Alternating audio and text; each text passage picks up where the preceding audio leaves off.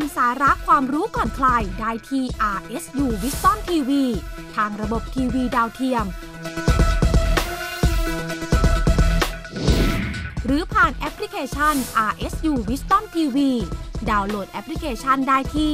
Google Play และ App Store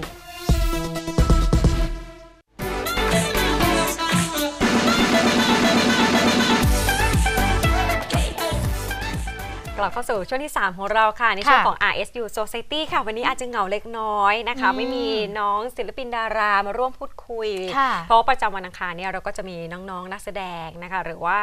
ศิลปินอืมมาพูดคุยกัน แต่ว่าช่วงนี้ช่วงสอบของมหาวิทยาลัยใช่พอดีเลยสองค่ะสัปดาห์ ก็ต้องให้น้องเขาไปไปอ่านพักอ่านหนังสือกันนิดนึงนะอ๋อเออนะคะ ต้องมาติดตามกันนะคะว่าในครั้งต่อๆไปเนี่ยจะมีใครมาบ้าง แต่ว่าวันนี้นะคะเราเลยค่ะมีคลิป ที่จะนำมาเสนอกันนะคะ เป็นคลิปสารคดีเชิงข่าวของน้องนักศึกษามหาวิทยาลัยรังสิตค่ะค่ะเป็นสารคดีเชิงข่าวนะคะ ชื่อเรื่องว่าวิน ปากแดง เออทำไมถึงเป็นวินปากแดง อาจจะแซบหรือเปล่า ไม่รู้เหมือนกันนะคะค่ะผลงานนี้นะคะเป็นผลงานวิทยานิพนธ์ปริญญาตรีของคณะนิเทศศาสตร์สาขาวิทยุโทรทัศน์กระจายเสียงมหาวิทยาลัยรังสิตค่ะ เจ้าของนะคะเอ่อเป็นคลิปที่เรานำมาจาก YouTube นะคะอืมชื่อว่าน้องกนกพรวงจันทราค่ะ จะน่าสนใจขนาดไหน และวินปากแดงนี่คืออะไรไปติดตามชมกันค่ะ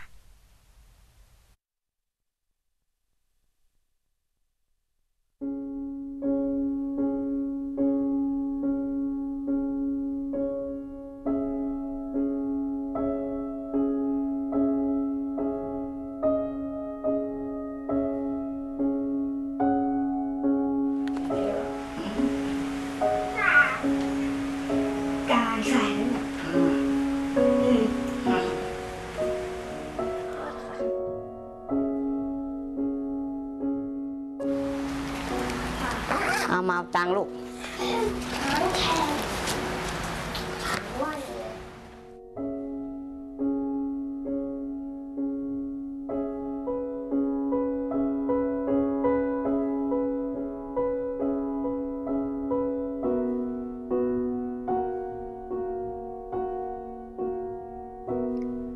นางโอรานธราจารวัตรหรือตุ๊ก ธอเป็นหนึ่งในแม่บ้านทหารที่อาศัยอยู่ที่แฟลตทหารในกรมทหารราบที่หนึ่งกองพันที่ 4 รักษาพระองค์กรุงเทพมหานคร ทุกวันเธอจะต้องตื่นมาดูแลลูกชายของเธอ ที่กำลังศึกษาอยู่ชั้นประถมศึกษาปีที่ 1 ซึ่งโรงเรียนอยู่ห่างจากแฟลตที่พักประมาณ 1 กิโลเมตร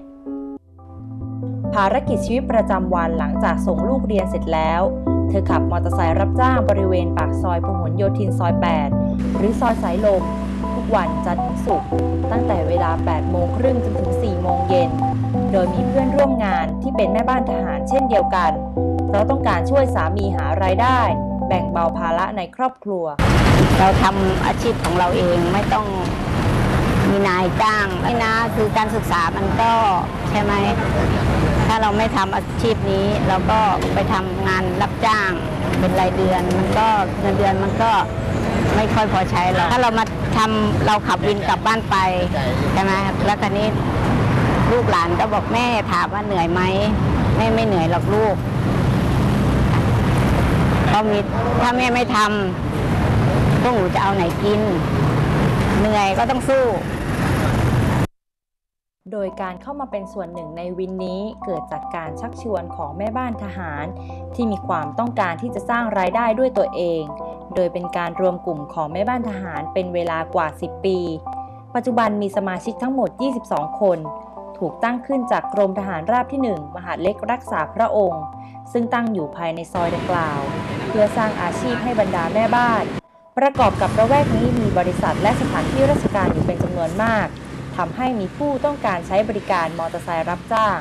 มาขับวินนี้ก็เพราะว่าช่วงกลางวันนี้แม่บ้านจะว่างแล้ว ในเนี้ยในรถก็ไม่ค่อยมีไม่มีรถเยอะอะไรอย่างงี้ค่ะ ผู้โดยสารเขาก็รอรถเห็นผู้โดยสารรอรถเขาก็เลยให้มากลุ่มแม่บ้านของเราจัดตั้งกลุ่มขึ้นมา แล้วก็มาร่วมวิ่งกับพลเรือนช่วงกลางวันนะคะวินมอเตอร์ไซค์นี้มีชื่อว่าวินปากแดง ที่มาของชื่อวินนี้มาจากที่วินมอเตอร์ไซค์นี้มีแต่ผู้หญิงเป็นคนขับ และถึงแม้ว่าจะต้องรับส่งผู้โดยสารทั้งวัน ทุกคนก็ยังห่วงสวย โดยการแต่งหน้าทาปากสีแดง เป็นสัญลักษณ์ที่สื่อถึงความมั่นใจ ความร้อนแรง และความแข็งแกร่งของผู้หญิง ซึ่งเป็นที่น่าสนใจของคนที่พบเห็น จึงกลายเป็นที่รู้จักในชื่อฉายาว่าวินปากแดงหมายถึงมีแต่ผู้หญิง แบบมันก็เป็นครอบครัวของแม่บ้านทหารตอนหนึ่งพันสี่ทีนี้พอแต่งไปมาเขาก็เห็นแต่งหน้าทาปากอะไรเงี้ย มาตั้งฉายาว่าเป็นวินปากแดงหญิงหญิงเล็กหญิงปากแดงเงี้ยขณะที่ความรู้สึกของผู้โดยสารบอกว่า รู้สึกปลอดภัยเมื่อใช้บริการมอเตอร์ไซค์รับจ้างที่มีผู้หญิงเป็นคนขับ ผู้หญิงเขาขับช้าฝ่านะเหมือนกับผู้หญิงเขาก็ขับช้าๆไปเรื่อยๆอย่างป้าแก่ป้าก็ชอบนั่งผู้หญิงอะไรอย่างนี้ใช่ไหมเออจริงๆชอบผู้หญิงขับมากกว่า เพราะว่ามันปลอดภัยด้วยแล้วก็มันก็ไม่ได้ต่างมากว่าแบบเออเราจะถึงก่อนหรือถึงหลังอะไรเงี้ยค่ะ ความเร็วมันก็เท่า ๆกันเนี่ยค่ะรายได้จากการขับมอเตอร์ไซค์รับจ้างประมาณ 15,000 บาทต่อเดือน เริ่มขับตั้งแต่8โมงครึ่งจนถึง4โมงเย็นแต่เมื่อช่วงเวลาที่ไม่มีผู้โดยสารใช้บริการ ก็จะรับส่งพัสดุและเอกสารตามบริษัท อีกทั้งถ้ามีผู้โดยสารเหมาให้ไปในระยะทางที่ไกลขึ้น ก็สามารถไปได้ ซึ่งทำให้รายได้เพิ่มขึ้นจากปกติเล็กน้อย อย่างไรก็ตามคนส่วนใหญ่เห็นว่าอาชีพขับมอเตอร์ไซค์รับจ้าง เป็นอาชีพที่เหมาะสำหรับผู้ชาย เพราะต้องใช้ความชำนาญในการขับขี่ และเสี่ยงต่อการเกิดอันตรายบนท้องถนน แต่ทางเลือกในการประกอบอาชีพของผู้หญิงนั้นมีไม่มากนัก ทำให้งานส่วนใหญ่ที่ผู้ชายทำได้ ผู้หญิงก็สามารถทำได้ ในขณะที่สังคมไทยเนี่ยมองว่าบทบาทของผู้หญิงที่มันเปลี่ยนไปอาจารย์มองว่าเนื่องจากโอกาสทางการศึกษาของผู้หญิงมันมากขึ้น พื้นที่ของการมีบทบาทมันก็เลยออกนอกจากครอบครัวมากขึ้นนะคะก็ต้องไปช่วยบริบทการหาทำมาหากิน support ครอบครัวมากขึ้น เพราะฉะนั้นเนี่ยคุณก็จะเห็นได้ว่าในขณะที่การศึกษามันมันเป็นช่วยการยกระดับในเรื่องของการทำงาน แต่ว่าโอกาสทางการศึกษาของกลุ่มผู้หญิงกลุ่มนี้มันไม่ถึงเนี่ยมันก็มีอาชีพไม่มากมายนักหรอก แล้วก็เป็นอาชีพใช้แรงทั้งนั้นแหละ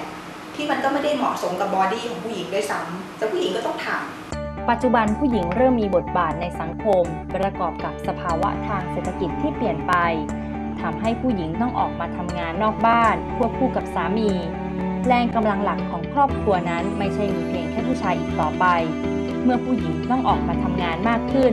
และนั่นคือเหตุผลที่ทำให้สังคมยอมรับถึงความสามารถของผู้หญิง ว่ามีศักยภาพในการทำงานไม่แพ้ผู้ชายเช่นกัน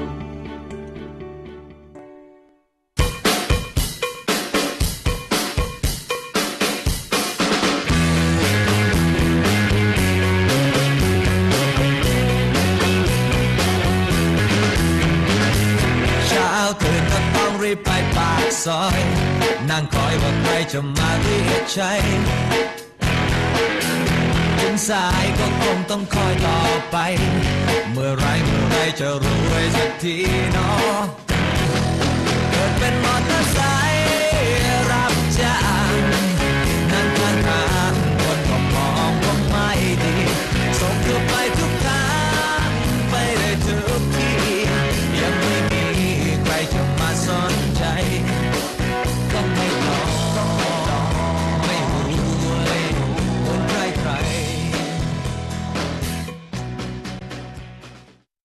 ใจความหมายของคำว่าวินปากแดงแล้วพี่น่าไปใช้บริการเนาะเออ แต่ละคนนี่โอ้โหผัดแป้งหน้านวลเชียวปากนี่ต้องค่ะ แดงเป็น concept ของเขาเลย ใช่แล้วล่ะนะคะค่ะเอาละค่ะ ต้องขอขอบคุณนะคะสำหรับสารคดีเชิงข่าววินปากแดงมาก ๆ เลยนะคะ ค่ะ จากน้องกนกพรวงจันทราค่ะรับอืมสนุกใครอยากดูอีกก็อืมลองไปเปิดดูกันได้ใน ใช่แล้ว YouTube เนาะ ค่ะ ค่ะเอาละค่ะ แต่ว่านะคะ ก่อนจะจบในเบรกนี้นะคะ ค่ะเรามีข่าวประชาสัมพันธ์มาฝากคุณผู้ชมค่ะใช่แล้วนะคะค่ะ เรียกได้ว่าเป็นโอกาสดีๆนะคะ ให้กับน้องๆนะคะเอ่อหรือเพื่อนๆก็ได้นะคะ ที่เป็นนักศึกษานะคะ อยู่ที่มหาวิทยาลัยรังสิตไม่ว่าจะเป็นระดับปริญญาตรีค่ะปริญญาโท หรือว่าอืมปริญญาเอกก็ตามนะคะ เชิญชวนค่ะ RSU Wisdom TV นะคะ เชิญชวนทุกคนเลยนะคะ มาสมัครเป็นพิธีกรนะคะ ผู้ดำเนินรายการโทรทัศน์ 20 คนเท่านั้นนะคะ อย่างตัวในตัวอย่างด้านนี้ค่ะก็จะมีคุณแยมมีคุณค่ะจินโลมีแล้วก็มีคุคุณณส้ส้มมนะคะ ซึ่งก็เป็นทีมงานพิธีกรของ ค่ะ RSU Wisdom TV นั่นเองค่ะ ตอนนี้นะคะเปิดโอกาสให้กับทุกคนเข้ามาสมัครแล้วนะคะ เรารับเพียงแค่ 20 คนเท่านั้น ในโครงการ RSU Wisdom TV MC Search ค่ะกรอกใบสมัครแล้วก็ส่งด้วยตนเองได้เลยนะคะ ที่อาคารดิจิ t a ลมัลติมีเดียคอมเพล็กซ์นะคะ หรือว่าอาคารค่ะ15ที่เราอยู่ตรงนี้นะคะ แต่ถ้าหากว่าเขินเขินยังไม่กล้าจะ walk in เข้ามาใช่ดาวน์โหลดใบสมัครได้นะคะ ทางนี่เลยค่ะ www.rsutv.tv นั่นเองค่ะค่ะหมดเขตรับสมัครวันที่ 31 ตุลาคมนี้แล้วนะโอ้คะยังมีเวลาอยู่นะคะค่ะ อ่าแต่อ่าว่า สำหรับคุณสมบัตินะคะสำหรับผู้ที่จะมาสมัครค่ะ เป็นหญิงหรือว่าชายก็ได้ค่ะนะคะ แต่ว่าขออย่างเดียวเลยนะคะ ต้องเป็นนักศึกษามหาวิทยาลัยรังสิตค่ะไม่ว่าจะเป็นระดับปริญญาตรี ปริญญาโทปริญญาเอกที่มีความสนใจงานด้านพิธีกร แล้วก็ผู้ดำเนินรายการโทรทัศน์ค่ะ สามารถอ่านพูดแล้วก็ใช้ภาษาไทยได้อย่างถูกต้องมีบุคลิกภาพ แล้วก็บุคลิกลักษณะที่ดีด้วยนะคะ ค่ะค่ะ นะคะในข้อต่อไปค่ะที่สำคัญเลยต้องมีไหวพริบ แล้วก็อืมมีปฏิภาณที่ดี โดยค่ะสามารถแก้ไขเหตุการณ์ที่อาจเกิดขึ้นโดยไม่คาดคิดค่ะนะคะแล้วก็เป็นผู้ที่มีความรู้รอบตัวและสนใจ เหตุการณ์ของโลกเพื่อใช้ประโยชน์ในการดำเนินรายการใช่นะคะคุณสมบัติข้อต่อไปค่ะ จะต้องมีคุณลักษณะในการทำงาน เป็นทีมสูงอืมมีมนุษยสัมพันธ์ มีระเบียบวินัยในการทำงาน แล้วที่สำคัญนะคะจะต้องมีทักษะในการสื่อสาร การนำเสนอกล้าคิดกล้าแสดงออกใช่นะคะค่ะส่วนใครที่สนใจนะคะ อยากจะสมัครเนี่ยสามารถติดต่อสอบถามมาได้ที่คุณมณิสราสอนท้วม แล้วก็คุณอ่า นริศราเครือพงศักดิ์นะคะ โดยจะมีอีเมลแล้วก็เบอร์โทรไว้ตามด้านล่างนี้นะคะ ที่ขึ้นหน้าจอให้เห็น ใช่ค่ะ แต่จริงๆ แล้วถ้าจะให้แนะนำนะ อยากค่ะให้มายื่นใบสมัครด้วยตัวเองอืมที่อาคาร 15 ตรงนี้แหละ เราจะได้ได้เห็นหน้าค่าตากันเลย เราจะได้ช่วยกันพิจารณา ใช่จะได้รู้ผลกันไปเลย